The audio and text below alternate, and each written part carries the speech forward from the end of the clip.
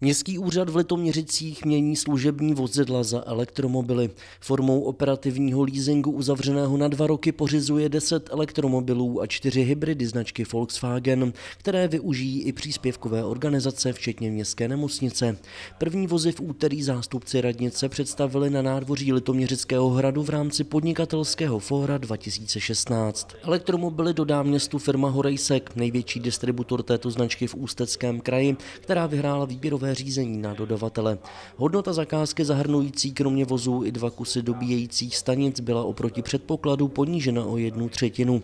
Po dvou letech vedení města projekt vyhodnotí a rozhodne, zda auta zakoupí, v jakém počtu, případně zda v následujících letech využije dotace určené pro města a obce na pořizování těchto vozidel. Zakázka je v rámci České republiky zajímavá i pro automobilového giganta. My loni jsme prodali asi 163 vozů eh, elektromobilů, eh, plug-in hybridů i plně elektrických vozů, ale v letošním roce vzhledem nevyjasněné podpoře ze strany vlády to nebude, nebude tak vysoké číslo, takže se budeme pohybovat mezi 55 a 60 vozy, takže z toho 14 vozů má výrazný, výrazný podíl. Litoměřice tak oficiálně startují projekt elektromobility. Požadavek na jeho realizaci zazněl na jednání zastupitelstva v roce 2015, byl ale rovněž součástí námětů podnikatelů v rámci loňského podnikatelského fóra.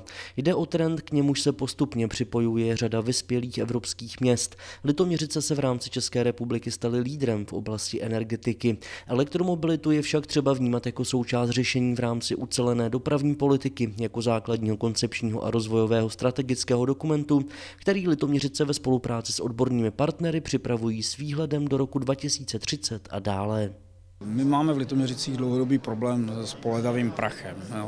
Podezření eh, panuje na individuální automobilovou dopravu, hlavně na auta s dýzlovými motory. No, tak máme, eh, známé případy eh, takzvaných emisních skandálů, kdy, kdy automobilky jsou někde na fyzikálních limitech, které nedokážou plnit a, a v minulém období se zjistilo, že, že oni se rozhodli jít prostě cestou elektromobilu. Je to auto, který má nulové emise a jim to prostě umožní ty limity splnit. Má to spoustu výhod, elektroauto, ale spoustu nevýhod ale pro potřeby úřadu, kdy máme nájezdy kolem 50-60 km denně, je už i současná technologie naprosto dostačující a očekáváme od toho rozvoj motivace lidí, eh, soukromých osob, eh, právnických, podnikajících osob v Litoměřicích a rozvoj infrastruktury, hlavně nabíječek, k tomu, aby, aby se postupně začalo nahrazovat, nahrazovat ty standardní spalovací motory eh, tou čistou elektromobilitou. Další kroky budou následovat, a to i ve spolupráci s místními podnikateli, kteří se k aktivitám města chtějí připojit, například v oblasti pořizování vlastních elektromobilů nebo výstavbou veřejností dostupných dobíjejících stanic. Klíčové bude zprovoznit rychlodobíjející stanice, na čemž město již spolupracuje s firmou ČES. Nyní jsou vytipovány vhodné lokality. Už jsem informoval naše, nebo mé kolegyně eh, tajemnice z našich největších měst v toho našeho, té naší oblasti eh, z Úštěka a Veštětí a určitě nám tam pomohou se případně nabít, dobít, tak aby eh, jsme vlastně mohli s tím, že máme domluveno, že provedeme případnou ukázku elektromobility i pro městské úřady, jak třeba ve Štětí nebo v Úštěku.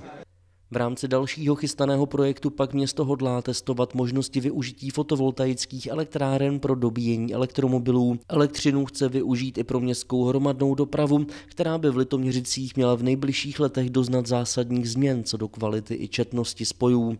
Jakým způsobem se tak stane, by mělo vyplynout ze studie proveditelnosti, která je součástí nových evropských projektů.